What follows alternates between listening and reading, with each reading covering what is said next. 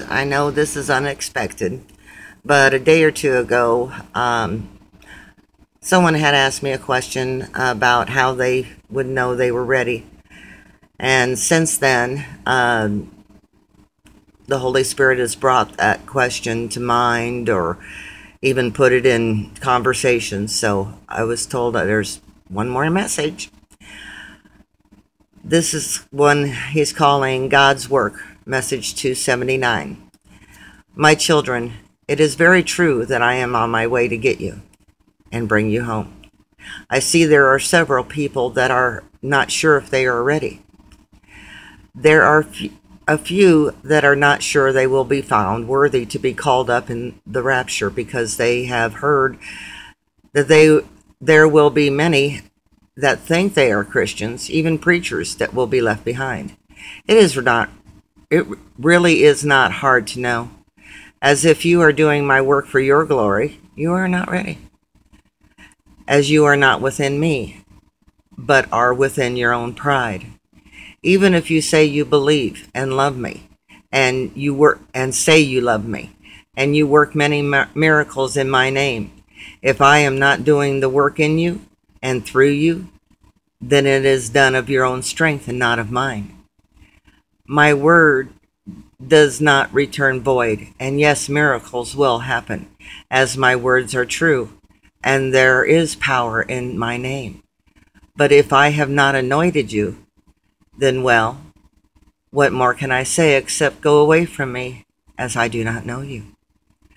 You know there is a difference between love and being in love.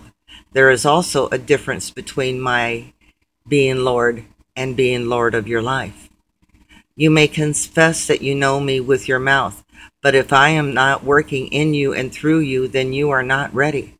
If I do not, if I do work in you and am living in you, then you and you truly love me with all your heart, mind, and soul. If my Holy Spirit is in you and I live in you, then you will be made spotless and will be ready to come home when I call.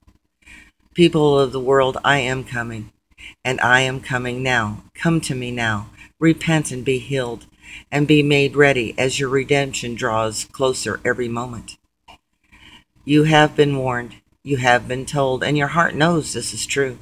As I have spoken to every one of you in your spirit, listen to my call, listen to my words, and let me in.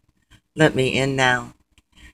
There truly are only moments before I will be seen and the trumpet will blow, as my angels and I are on the way on our way.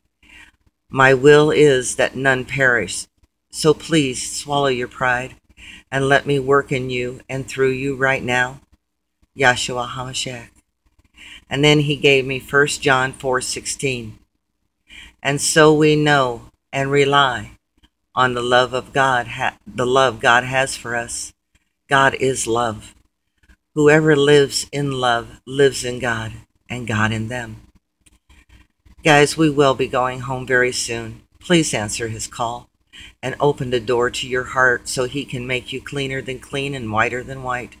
Only He can make you ready. It is not something we can do for ourselves. Hopefully, we'll be seeing each other very soon. Until then, take care and God bless.